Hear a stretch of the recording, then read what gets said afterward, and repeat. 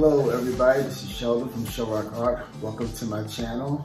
And I'm just gonna let you know that you see I have a blank space in the background.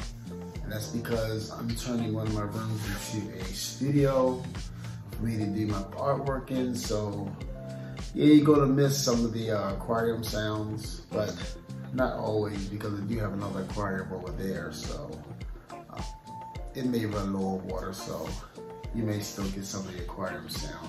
But today I'm going to be doing this straight pour, and I, am going to call this, um, I guess, Bridge or Road to Asgard. And if anybody like know about the whole Avengers and Thor and all that, that's where Thor came from. And so it kind of gives you that feel of that um, realm of Asgard.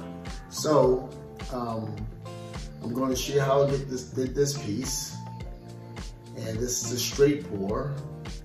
And it has some cloudy effects to it as well. So let's get over to the canvas and show, well, this is a canvas, but you understand. Let's get over to the canvas as to see how I created this piece, okay? Thank you. Hello everybody, this is Sheldon from Shelrock Art. Welcome to my channel. Um, I've been working on these um, straight pours for a little bit. And it's funny how some of the things turn out for you in a test, but then when you actually do on a piece, it changes up on you. So hopefully this one don't change up on me. Um, the colors that I'm using is, um, this is Carmen um, by ColourArte. It has um, a little touch of satin enamel in there to kind of help with uh, some of the cloud effects. But it also has um, vivid enamel and I brightened it back up with a little bit of the um, red orange vermilion of the Vivid Intense um, fluid, fluid um, acrylic. So that's that color there. Um, this here, uh, let me see how, if you can see it. Oh, no wonder, you probably can't see it. So this here is, um, this is called um, Juniper Green, but this is a chameleon color. And Then this one, of course, is my cloud mix of satin enamel and um, Artist Loft White, along with um, the Vallejo Pearl Medium. So that's my cloud mixture there. This one is Pandora Star that um, I used um, Mont Marte. Oh, I hate my horrible lighting. Um, I'll pull it up out of the cup though, so you can see it. There you go. So this is this is Mont Marte um, purple, and I added some of the ColourArte um, Pandora Star to give it some shimmer. Um, this is Peacock Feather with a little bit with a little bit of satin enamel mixed in with it. So it lightened it up a bit. And the peacock feather is also uh, a primary element of ColourArte. And then this here is, I think it's called, I can't remember, something creative. But this is a yellow um, by them. So that's it there. So hopefully these colors will give me the effect that I was looking for. I got close on my test piece. I'll show you that of what I'm looking for. But it didn't quite happen this way on that. So, we're to try this again. So, there's my cup. Nice and layered. So, we're to pour this puppy out. and see how see what happens. All right. Maybe I'll pour from the side this time. Maybe this will make a little bit of a difference.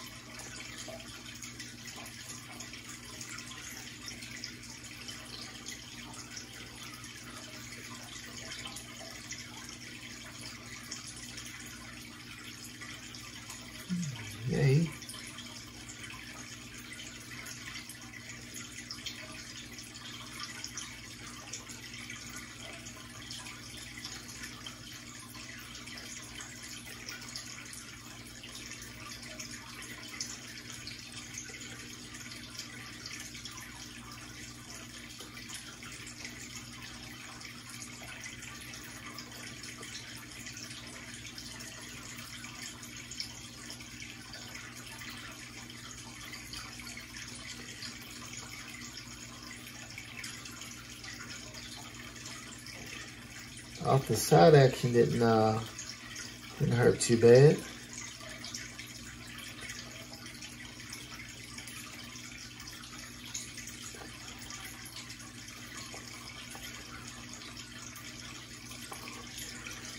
But this cloud mixture is actually um, doing its work.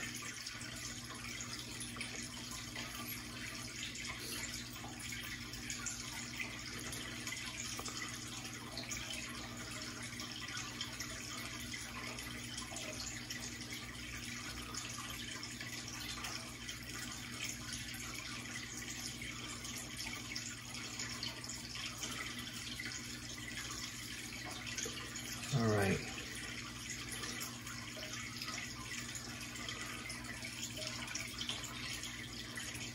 And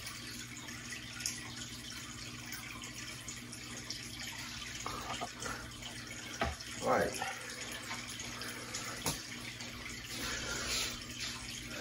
That was an interesting pour out because I poured it from the side. I just wanted to try something different.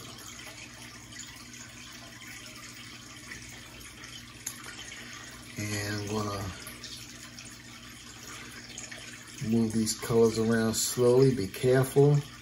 Be very um, uh, let these colors percolate a little bit. As James Lucas says, got to let them percolate.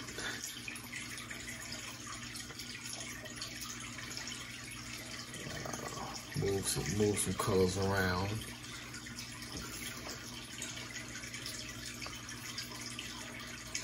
Okay.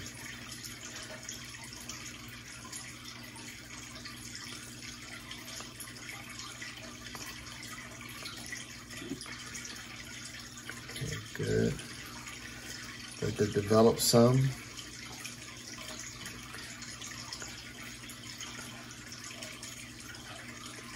I think the last couple of times I made my cloud mix way too thin.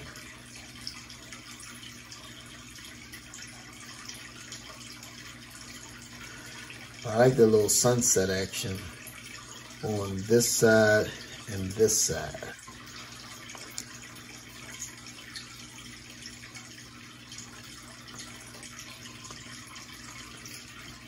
Course that um, that juniper green is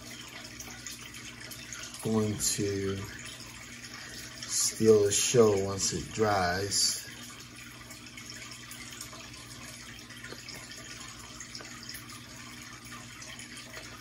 Okay, let me let this sit for a second before I, I spin it off. I just wanted the, the paint to react a bit.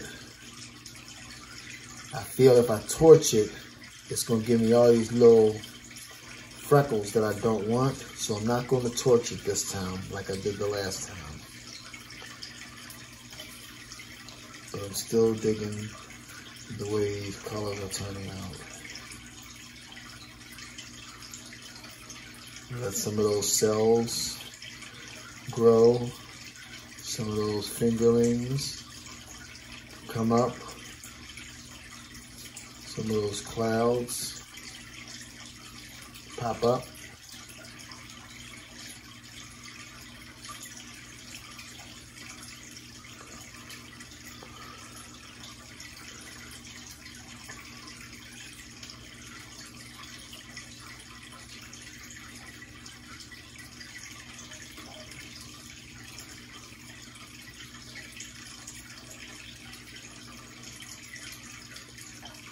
This is all the old color, which I'm banking on, which I am banking on to fly off. So I can keep a lot of this bright red and all that to stay on. That will, that's my hope. And because I have plenty of Floetrol in here, even if I have a lot of a lot of paint on this canvas, and it takes a while to dry, it should not crack.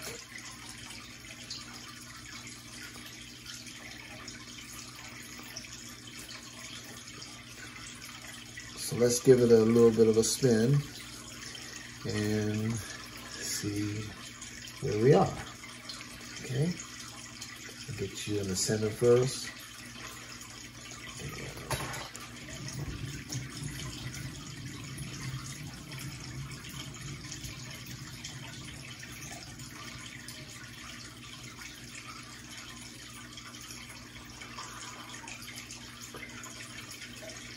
Something told me, Sheldon, record this.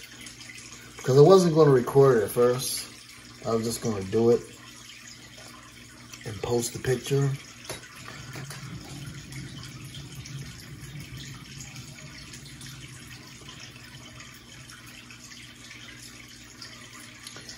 But I'm glad I did record this. I think I'm going to take a little bit more off. So some of this more, some more of this can come off on this side here.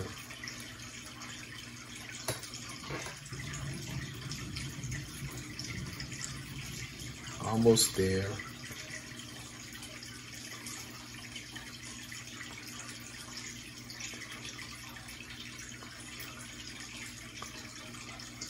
Maybe I can just, instead of spinning it, get more color off. Maybe I can just tilt it just a little bit off on that side there. Slowly tilt it. Can I do that?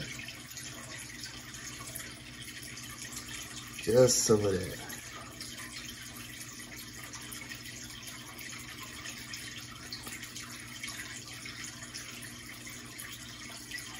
Some more of that brown color off. And goodbye. Okay, good. So Let me bring that back for a second.